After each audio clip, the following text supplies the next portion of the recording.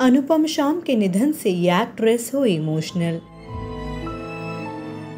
याद किए अनुपम जी के साथ बिताए गए पुराने दिन।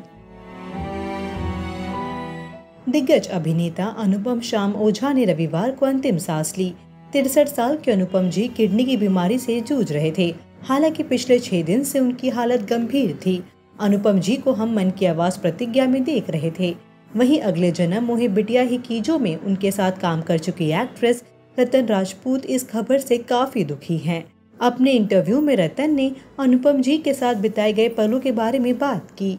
रतन ने कहा, मुझे इस बारे में सुबह पता चला और वाकई में इसे सुन मुझे काफ़ी दुख हो रहा है। पैकअप के बाद भी मैं उनके साथ बैठकर बात करती थी।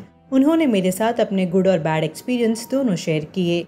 वो कहते थे, आप एक्टर बनकर पर्दे पर क्या करते हो? उससे ज़्यादा असर ज़िंदगी में आप क्या करते हो? वो ज़्यादा मायने रखता है। वो काफ़ी ज़्यादा फन लविंग इंसान थे। वाकई में अनुपम जी का चले जाना इंडस्ट्री के लिए एक बड़ा लॉस है। अनुपम शाम को भावपूर्ण श्रद्धांजलि